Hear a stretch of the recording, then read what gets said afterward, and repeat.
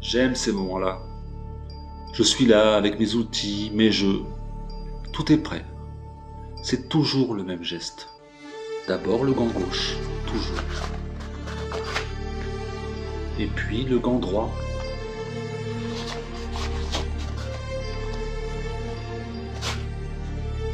Et puis l'essence F, toujours.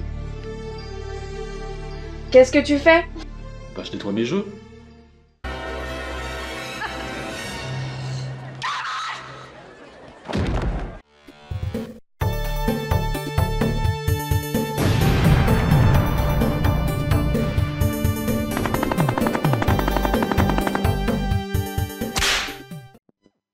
Salut les gamers, j'espère que l'introduction vous a plu, qu'elle vous aura fait un peu rire.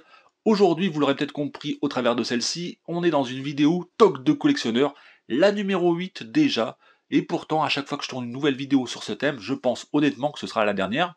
Et puis en fait non, en regardant des vidéos YouTube sur d'autres chaînes parfois, ça me donne des idées de nouveaux TOC à aborder dans cette série de vidéos. Donc aujourd'hui, de nouveaux tocs, et petit rappel pour les nouveaux venus, les nouveaux arrivés, un, toc de collectionneur, c'est une habitude de langage, une pratique un peu étrange, et dès que l'on aborde le sujet de la collection, ça nous est tous arrivé au moins une fois, avec notre famille, avec des amis, qui sont en dehors de cet aspect collectionniste de jeux vidéo, ils nous regardent avec des yeux de merlan frit, euh, croyant avoir affaire à un extraterrestre, bref, on passe pour un cinglé, ça nous est tous arrivé au moins une fois, et bref, aujourd'hui, on va parler de ces tocs, ces manies, ces habitudes de langage, ces pratiques un peu étranges au travers de cette série de vidéos. Donc là, on est déjà à la huitième vidéo. Et aujourd'hui, on va aborder donc deux nouveaux thèmes, deux nouveaux tocs. Le premier que j'appellerai le kit du toqué et le deuxième, les jeux gradés.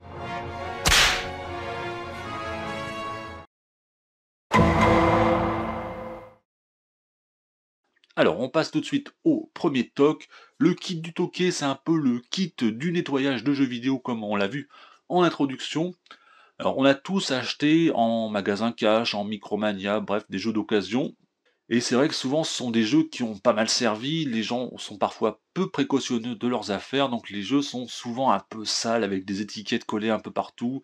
C'est collant, ça a un aspect un petit peu euh, dégoûtant. Et donc le collectionneur, bah, il aime pas avoir des jeux sales dans sa collection. Il veut que ce soit nickel, que ça brille, que ça scintille et que ce soit euh, propre de chez propre. Un jeu sale, ça ne rentre pas dans la collection. Donc il y a des outils qui existent dans le commerce, hein, des outils vraiment euh, bah, très très abordables. On l'a vu en introduction, bah, il y a l'essence F avec euh, des petits coton-tiges, ça peut servir à nettoyer les jaquettes de jeux vidéo, enlever les étiquettes non désirables et euh, enlever surtout la saleté qui s'est accumulée avec les manipulations et surtout des jeux, bah, les gens parfois ils les mettent dans des endroits vraiment dégoûtants et ça fait qu'au final on a des jeux vraiment euh, c'est cracrade, c'est plein de microbes et le collectionneur il n'en veut pas. Donc moi c'est un toc que j'ai un petit peu, on va dire. Hein, euh, j'ai acquis il y a quelques années ma bouteille d'essence F et j'utilise des cotons-tiges, donc souvent quand j'achète chez euh, principalement Easy Cash et euh, Micromania, souvent les jeux d'occasion, bah, ils sont pas nickel nickel, ils sont un peu collants, ça, un peu ah, cracrade, et bah, du coup je nettoie un petit peu euh, essence F plus coton tige, et on passe, et on passe, et on enlève la crasse, on enlève les étiquettes indésirables, et au final le jeu il est plutôt propre quand il rentre dans notre collection. Donc ça, le kit du toqué, le kit du nettoyeur, ben je l'ai et j'en suis un peu atteint niveau que j'appellerais raisonnable. Hein. Je vais pas aller nettoyer tous mes jeux, mais ceux pour lesquels je sens que ça colle un petit peu, que c'est pas très propre, euh, ben, du coup je vais passer 5 minutes à le nettoyer rapidement. Et après, dans ce kit du toqué, le kit du nettoyeur, il y a une autre pratique un petit peu sous-jacente, on l'a vu euh, aussi en introduction, euh, le fait de mettre des gants dès que l'on va manipuler euh, des jeux vidéo un petit peu rétro, un petit peu vieillots qui nécessitent d'y faire attention. Alors ça c'est un, toc que j'ai vu récemment dans un live YouTube, alors je ne donnerai pas le nom de la chaîne, mais c'est vrai que la personne prenait carrément des, gants de chirurgien pour manipuler, il faisait un unboxing et il manipulait ces jeux ouverts, déballés avec des gants de chirurgien. Là, j'ai fait vraiment what the fuck. et c'est cette vidéo qui m'a vraiment donné euh, l'idée de ce nouveau euh, nouvel épisode de Talk de collectionneur. Vraiment le fait de prendre carrément des gants de chirurgien pour aller manipuler des jeux parce qu'on a peur de les salir en, les manipulant, euh, voire Ouais, moi, moi, moi, moi je, je critique pas, hein, je trouve ça juste un petit peu rigolo à regarder. Euh, bref, alors ça c'est un toc, euh, bon, je pense pas en être à ce stade-là, hein, d'acheter des gants pour manipuler des jeux, de peur de les salir, je sais pas trop, peut-être que tu... C'est très étrange. Euh, là, c'est un aspect collectionniste, mais poussé quasiment au paroxysme. Je pense pas qu'on puisse faire beaucoup mieux dans le genre de pratique un petit peu chelou. Alors évidemment, je me moque, mais euh, c'est bon enfant. Hein. Vous le voyez, moi-même, je suis atteint de nombreux tocs que je présente en vidéo. Mais celui-ci, le fait de prendre des gants de chirurgien pour aller manipuler des jeux, même s'ils sont très anciens, très fragiles, euh, ça ne me viendrait pas à l'idée. En tout cas, ça existe, je l'ai vu en réel. Dites-moi en commentaire si vous êtes également atteint de ce de ce toc du latex, hein, ça fait euh, un petit peu étrange, mais bon, bref, pourquoi pas, je ne critique pas, je note juste ce petit toc de plus à la collection de jeux vidéo.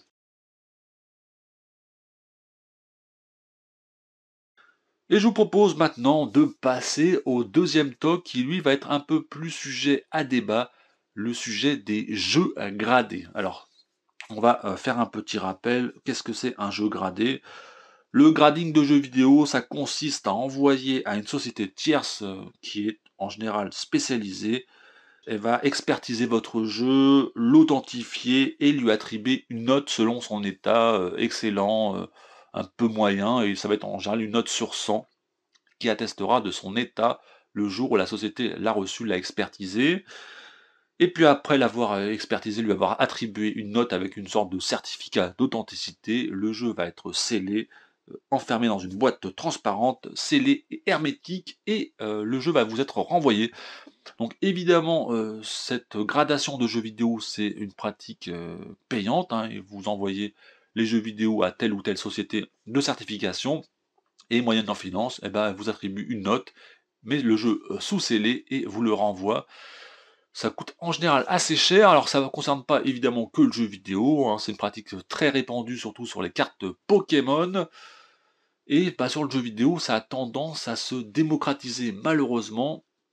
dès qu'on a un jeu rétro, qui suffit que ce soit sous blister rigide par exemple, ou sous blister souple, et même sur des jeux euh, Wii U, j'ai vu ça assez récemment, PS3, euh, des jeux qui ont 10-15 ans, ça commence à se faire, les gens envoient leur jeu sous blister, et la société le grade, et vous le renvoie en boîte scellée, et ça vous donne une certification. Alors c'est un toc que personnellement je n'ai pas du tout, et au-delà de l'aspect un petit peu spéculation, hein, parce que les gens qui certifient leur jeu, la plupart du temps, c'est pour leur donner une valeur, voire l'augmenter, et pouvoir le revendre ensuite en gelant, en frisant l'état du jeu, en le mettant sous boîtier plastique, et boum Le jeu, il vaut tant maintenant, il a été certifié, eh, il a 95 sur 100, c'est état mint de chez Mint, et donc du coup ça justifie le prix de revente. Alors, on va passer outre cet euh, aspect un petit peu dérive de la collection et euh, spéculation, hein, parce que c'est souvent pour ça qu'on va aller faire grader euh, des jeux et, ou des cartes Pokémon. Au-delà de cet aspect hein, spéculation, il y a certains collectionneurs qui sont vraiment ben, dans le pas dans l'optique de revente, mais ils veulent juste avoir un jeu gradé, scellé sous une belle boîte, certifié avec un état qui va pas s'abîmer. Et ils vont le garder dans leur collection en mettant euh, voilà, dans une vitrine, ça fait joli, euh, c'est beau, c'est euh, top de chez top. Alors, sur cet aspect collection pure et dure, hein, on ne parle pas de la spéculation, non, moi là franchement c'est un toc que je ne alors que je, ne critique pas, mais je ne cautionne pas ce genre de pratique. Pour moi c'est dommage, un jeu vidéo, je l'ai souvent dit au travers de mes vidéos justement, c'est fait pour être joué avant tout. Et moi, euh, sur les jeux rétro, je préfère toujours acheter des jeux d'occasion, que ce soit en NES, Super NES, Mega Drive, bref, des jeux qui sont pas scellés, comme ça je me pose pas la question, je peux jouer à mon jeu, il a 30, 35 ans, 25 ans, bref, je vais y jouer, peu importe l'état de sa boîte, et je la manipulerai autant de fois que nécessaire. Et je vais pas aller m'amuser à aller grader mon jeu, à le sceller. C'est dommage parce que c'est un jeu qui, au final, ben, si on prend euh, sa, son utilité d'origine, c'est un jeu qui ne va plus jamais servir.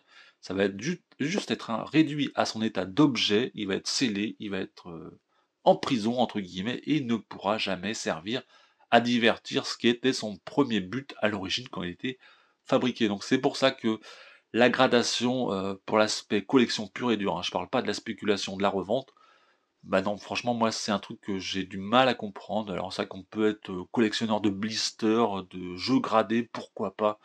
Mais pour moi, on détourne euh, les jeux de leur but original, nous divertir. Et donc, celui-ci, je ne suis pas toqué. J'évite au moins ce petit toc. N'hésitez pas à me dire en commentaire si vous êtes atteint du toc du nettoyeur, du toc du chirurgien, voire même du toc du collectionneur de jeux gradés. Bref, on en discute tranquillement. Dites-moi tout, lâchez-vous. Et je vous dis à très bientôt dans une vidéo, peut-être un nouveau toc de collectionneur. Bye les amis